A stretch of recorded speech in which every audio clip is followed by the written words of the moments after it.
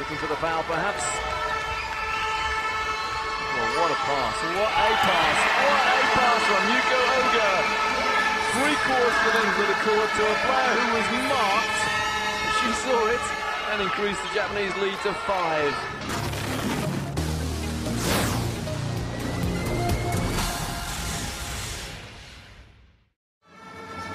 Got to be a long hope shot.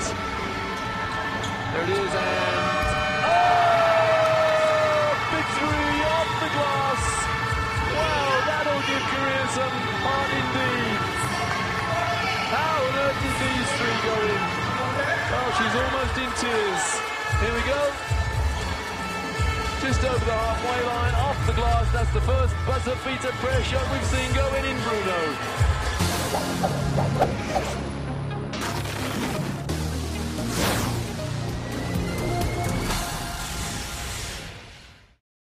see whether her team can defend a one-second play. Argentina are now in the penalty.